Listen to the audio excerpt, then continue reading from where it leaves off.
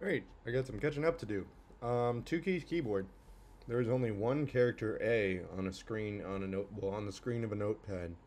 You can perform one of two operations on this notepad for each step. You can co- well, copy all. You can copy all the characters present on the screen. A partial copy is not allowed. Or paste. You can paste the characters which are copied the last time.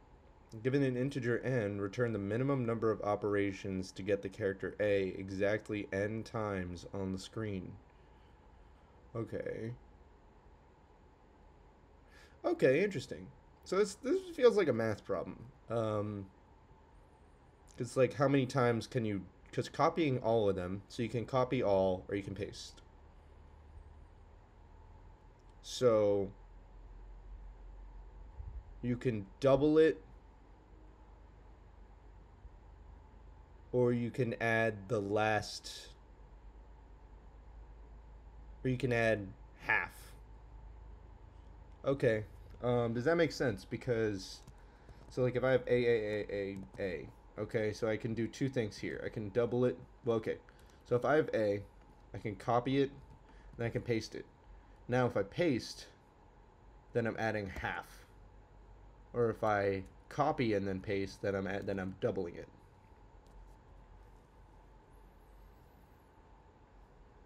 Okay, so it's like a little math problem.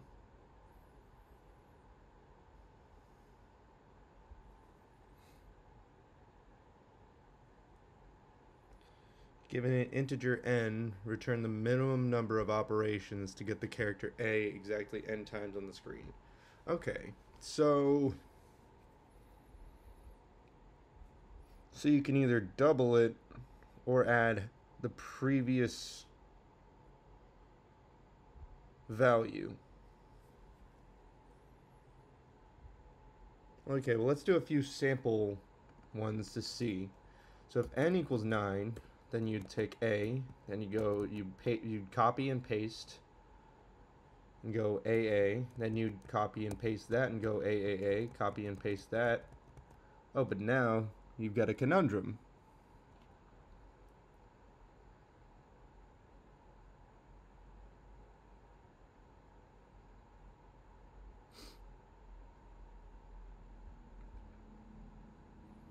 Okay, because once you get to 8, you can't possibly reach 9 because you can't you could only either paste 4 or you could copy and paste 8. So I think this is a deal of calculating the largest factor and then reaching that point.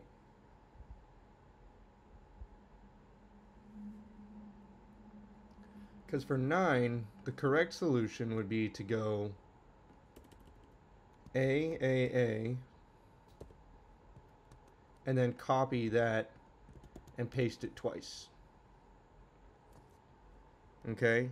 And for 8, it would be to reach 4 by going A, A, A, A, A, A, and then copying and pasting that to reach 8. Okay?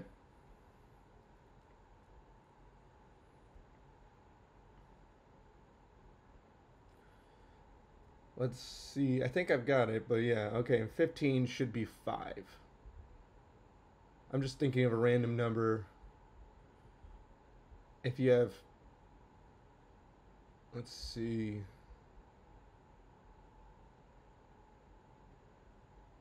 So if the number is even, you try to figure out the point where you can get the current screen to be half of that and then copy and paste it. And if the number's odd, that's a little bit trickier. You've got to find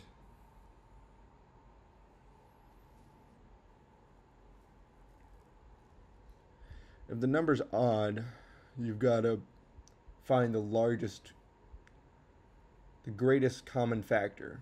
Or no, just yeah, the the, the greatest factor of it. That's not the number itself. Okay.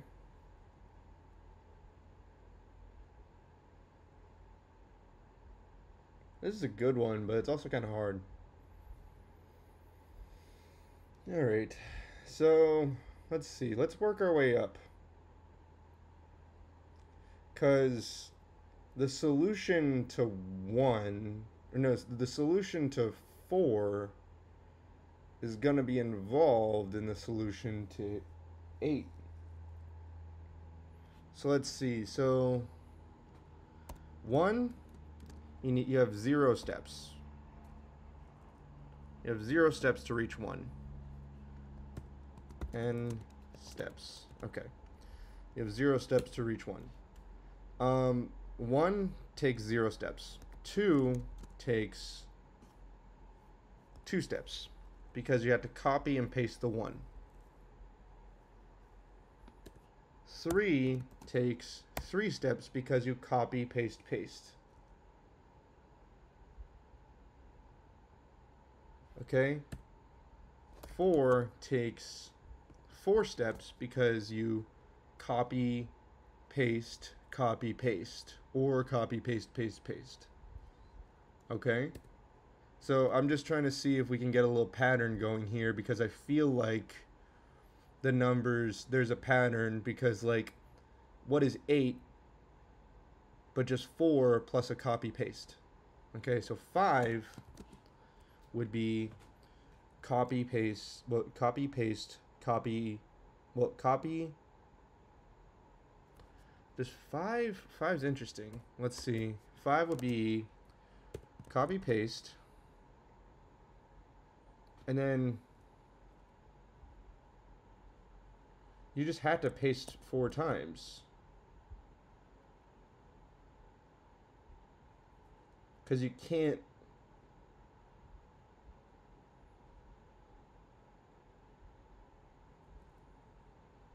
Okay, so worst case scenario, the steps is n. Because you can always just copy, paste, paste, paste, paste, paste. Okay, so it's just a matter of do we get like a, an economies of scale going. Copy, paste, paste, paste, paste. Okay? Six is copy, paste, and then copy, paste, paste. So that's copy, paste, copy, paste, paste. So because you copy you you you copy the first one to get two, and then you copy those two, and then you paste it two times more. You could also do copy, paste, paste, copy, paste. But still, that's five. So that's the first one that we can skip a that we can get less than n.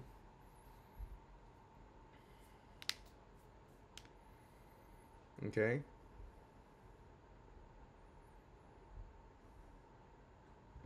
Seven is you have to do copy, paste, paste, paste, paste, paste. So I'm starting to realize that if it's a prime number, you have to do n.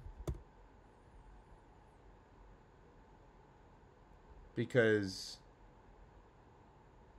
there's nothing that multiplies to that number. You just had to do paste n times. Or, well, copy for the first step, and then paste for the second character, and so on. 8 is copy, paste, copy, paste, copy, paste. So 8 is 6. 9 is 3 plus copy, paste, paste. So it's 6. 9 is also 6. Okay, so maybe, let's see, 10 is 5 plus 2 right? Because you do copy, paste, paste, paste, paste to get the 5. And then you do copy, paste to make it 10. I don't think there's a faster way of doing that. So it's 7. 11 has to be 11 because it's prime. 12 um it's either 4 you could do 6 would be 5 copy paste is 7 you could do 4 copy paste paste is also 7 3 copy paste for 6 paste for 9 paste for so yeah 12 any way you slice it is 7 this is interesting okay what's 13 13 is 13 14 is 7 times 2 or 7 plus 2 so it's 9 15 is 5 copy paste paste. This is okay, I'm really just struggling to see a pattern here. I don't think there's a pattern. I think that we got to figure out some I feel like by 15 I should start to be figuring it out. Let's see. 16. 8 is 6, so you could just do copy paste for for 8 after you get to 6. Or you could do 4 copy paste, paste, paste, paste is also 8. Okay.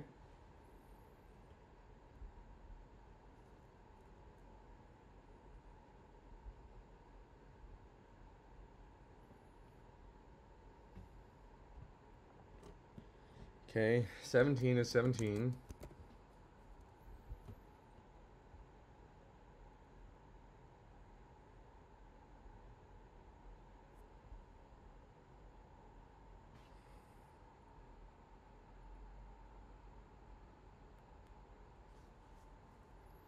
Alright, you know what? I'm gonna try. Uh, I'm gonna pause this and think about it some more. um, just went to the gym to uh, try to see if my I could jog my brain a little bit, and I think I did. So, the math here is that is it's a little bit recursive. It's a little bit because once you get to if you're if you're going for 500 once you get to 250, you just double it by saying copy and paste. Although, if you get to 500, would you want to just go to 100 and then copy it four times? I think it's all the same. Um, one sec. Let me just uh, change my appearance. Okay, so is it better to copy and paste 10 four times or copy and paste 25 once? Let's see. So you do a because I think it's all the same. This will make a difference as to my final strategy. Okay, so A, well, you know that we have to do 5 to get that. Okay, and then so that's five to get to, to three A's because we copy and paste the A and then we uh, paste we copy the A and then we paste it four times. That's five. Okay, copy and paste. That's seven. Okay, and then to get to fifty, we copy and paste that four times, which would be twelve total steps. What were, what if we were trying to do twenty-five? So five, okay, and then copy and paste four times. So that's five more steps is 10. And then copy and paste is 12. Okay, so whether you try doing 10, well, whether you try, you know, I think that uh, the more I, the more examples I do, the more I think that this is the solution is to, is that you'll never find a faster, like, you know, as long as you go for like the greatest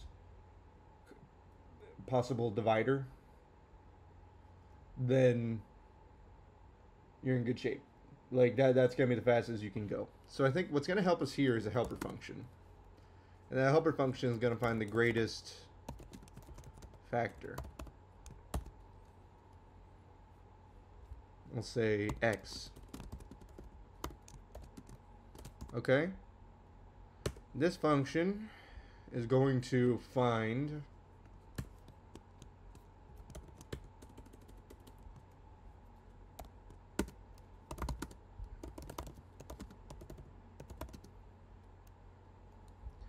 is going to find the greatest divisor. That's not the number itself.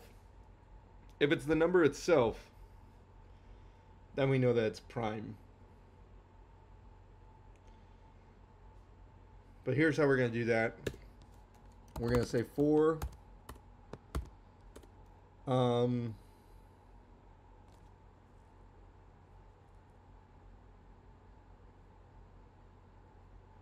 I'm going to say for i in range 2 to x plus 1. Um, well, let's see, what would we want the range to be? Um, we'd want the range to be x um, you know doing doing is it redundant once we get to x? Because once we get to x we know that it's prime. If we get one less than x you know that's not going to do it. Let's just uh, let's just say x. Let's you know. Okay. I'm forgetting how the uh, I'm mixing up all my languages. I'm so out of shape right now.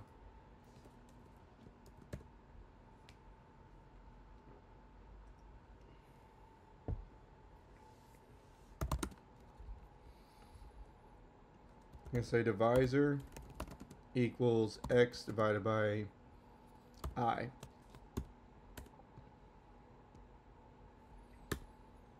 If No, no, no, no, that's not right. We're going to say if x modulo i equals 0, then return x divided by i. So e.g. 500 check 500 divided by 2 or modulo 2 equals 0 return 250 okay? So basically what this is going to help us do is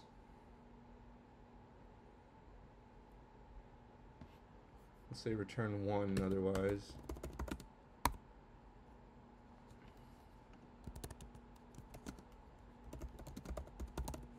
What this is going to help us do is find the biggest possible number that we can divide uh, the the number by.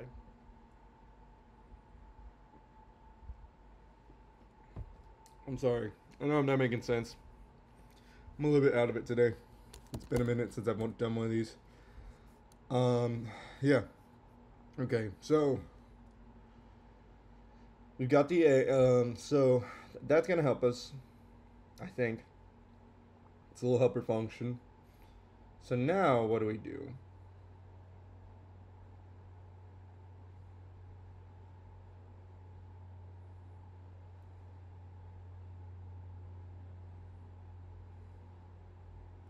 Now we basically take the greatest possible factor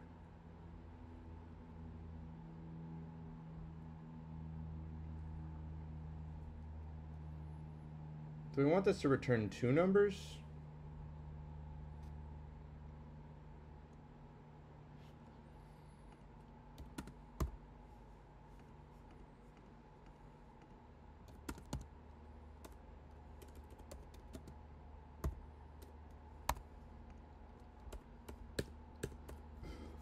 Greatest factors. Okay. All right. So now we're going to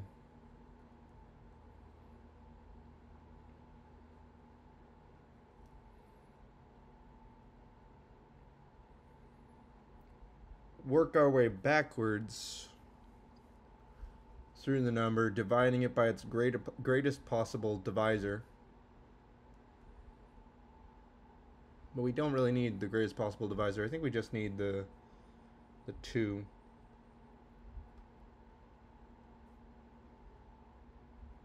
Actually, yeah, we don't need to... Yeah. Awesome. So we check to see if you can divide by 2. Okay, and a prime number, it's 1. Okay, awesome. Uh, I think I'm starting to get it. Um, I feel a little bit out of shape today. Shows why you got to do constant practice with this.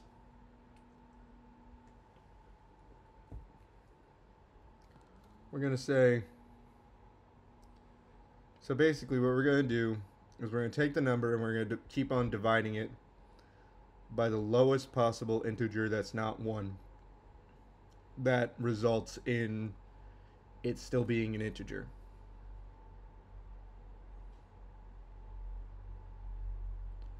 Okay.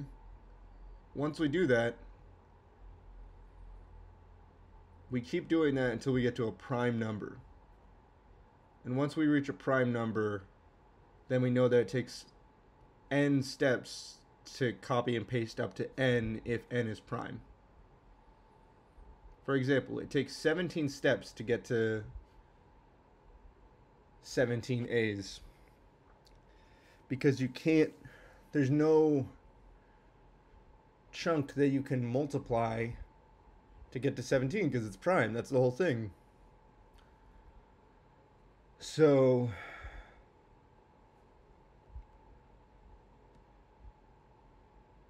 We're going to take n.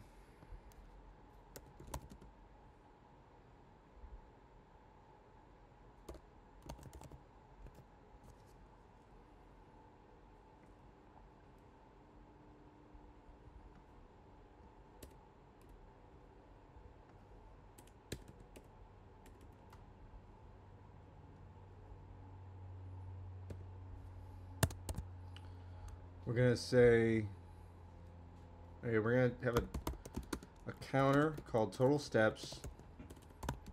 That's set to zero. And we're going to tick it up as we go on.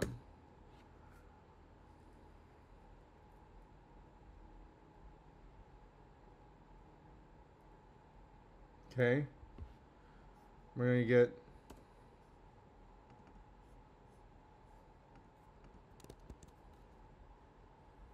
the first greatest factor, I guess lowest factor, or whatever.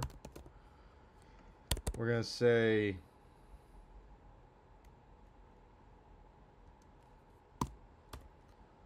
um, LF equals lowest factor of n.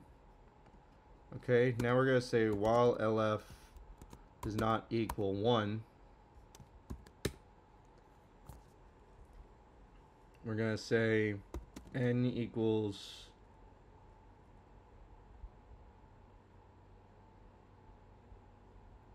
okay let's see. If it takes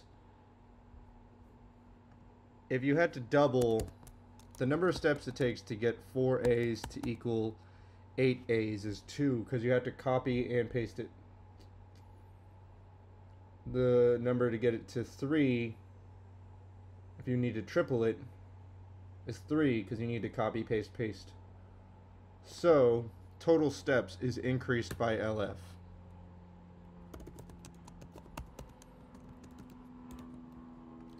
Okay, then we divide n by LF. Okay, and we keep doing that, and then we finally update LF. This would be really cool if this worked, because my brain's really struggling. I'm struggling. Um, lowest factor, n. Okay, then finally, we say total steps plus equals n. or we could just say return total steps plus n. Or LF.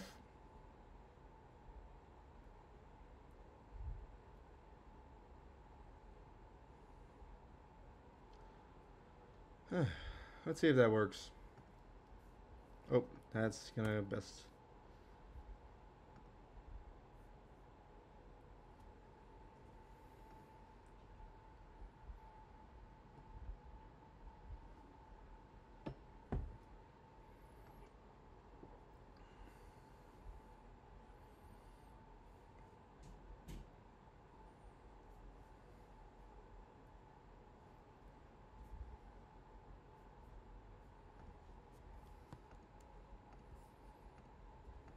We'll put in a edge case.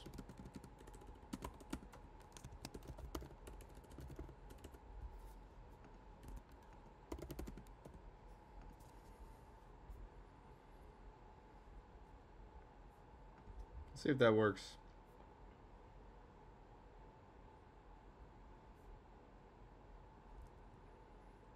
Float object cannot be returned as integer.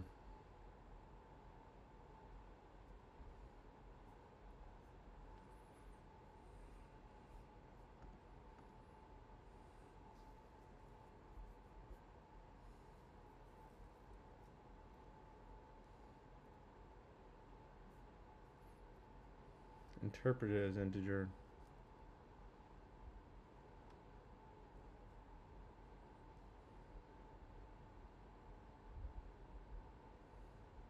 Huh?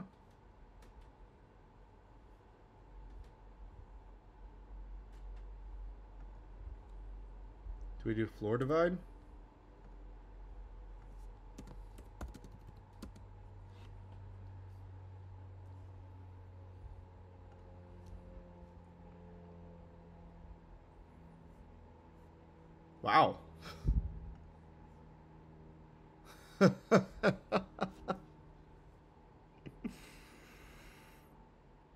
How about that?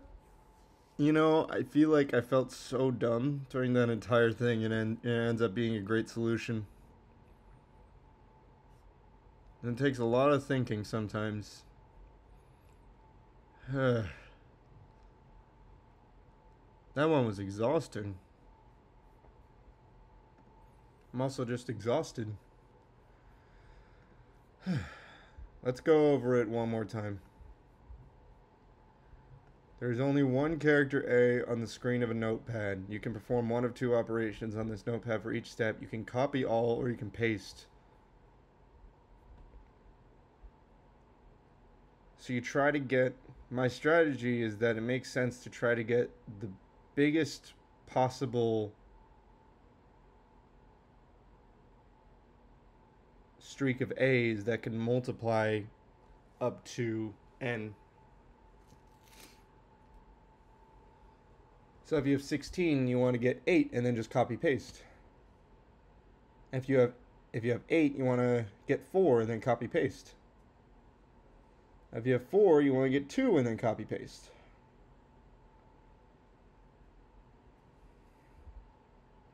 So how do we do that?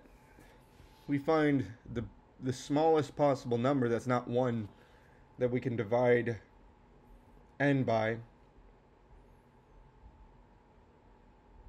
Because, you know, best case scenario, you can just divide it in half because then you only have to copy and paste once. And then it's sort of recursive. Er, well, not recursive. It's it's it's uh it's just working backwards. So you have the total number of steps and you're basically saying, okay, get the lowest possible factor. So if you had to You really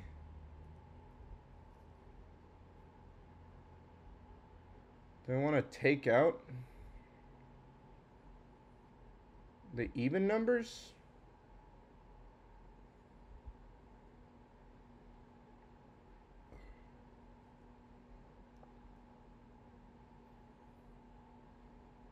I don't know. It works pretty well. But yeah, so you start and you say, can you divide it by 2? If you can divide by 2, then you're in good shape because you just copy and paste the whole thing. If you can divide by 3, then you do copy, paste, paste. If it's 5, then it's copy, paste, paste, paste. so you get the lowest possible factor, and then if it's not 1, if it's prime, then you had to, you know, just manually copy, paste individual A's to get to that point. But on the bright side, if it's prime, then that means we don't need to do any more because that's the ending point. Yeah, we can't find any more factors. I feel like I'm using all the wrong words here. Um, so while it's, yeah, the total steps, you add the lowest fa factor to. If you're just doubling it, then you add two, because you copy and paste to double it. And if you're tripling it, then you add three, because you copy, paste, paste. Then you divide the thing by the lowest factor. So if you have 500 and you divide it by 2, um, you know, because it takes two steps. Or yeah, yeah, it takes um, because yeah, you've already done the math. That, or you've counted up the steps it will take to copy and paste to multiply 250 to um, 500, and now you have to figure out how you're going to get to 250, and you do that by first calculating the lowest factor, and then the loop starts over. Alright, so hope that made sense. I'm surprised that I got that one considering how my brain feels right now, but that's a win. Thanks for watching.